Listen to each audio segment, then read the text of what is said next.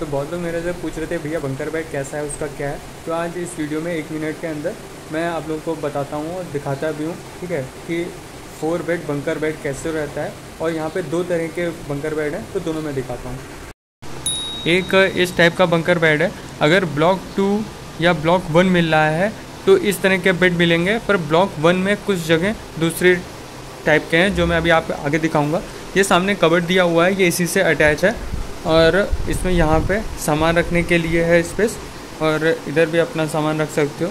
और यहाँ पे छोटा सा साइड साइड दिया हुआ है कपड़े टांगने वगैरह, कपड़े टांगने के लिए। फिर उसमें ये सामने सेल्फ दिया हुआ है, यहाँ पे बुक्स वगैरह, और ये स्टडी टेबल टाइप का है, यहाँ पे नीचे पढ़ने के लिए। फिर ऊपर ये सीढ़ी से ऊपर जाके इधर सोने के लिए बेड डाल के। और इसी तरह एक रूम में चार बेड हैं। तो चलिए अब आगे चलते हैं। उससे पहले if you are finding this video helpful don't forget to like और अगर कोई नेक्स्ट टॉपिक पे वीडियो चाहिए तो कमेंट कर सकते हो, मैं उस पर वीडियो बना दूँगा। और किसी को अगर कोई डाउट है तो पूछ सकता है, मैं ऑलमोस्ट सबका रिप्लाई करता हूँ। ये टाइप टू कह सकते हैं। मतलब टाइप टू मतलब वी की तरफ़ से कोई कैटेगरी नहीं है।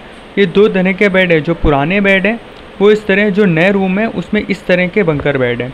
तो इसमें स्पेस थोड़ी ज़्यादा दी है, ये ड्रॉर दिया हुआ है।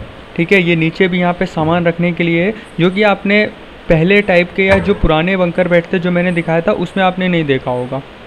ये कबर्ड इसमें भी इससे अटैच है पर कितनी बड़ी है कितना ज़्यादा स्पेस है देख सकते हैं आप। कपड़े टांगने के लिए भी वहाँ पे कितना छोटा सा यहाँ पे पूरा साइड में अलग से सेक्शन दिया हुआ है। और आई थिंक पुराना और नया प्राइस दोनों के सेम और फैंस जो है वो दोनों रूम में सेम है। सीलिंग फ़ैन नहीं है इस तरह के फ़ैन है।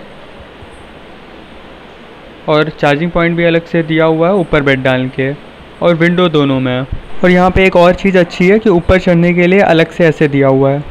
तो इस वीडियो के लिए बस इतना ही, मिलता हूँ आपसे नेक्स्ट वीडियो में। चैनल ज़रूर सब्सक्राइब करके आना सब्सक्राइब करना।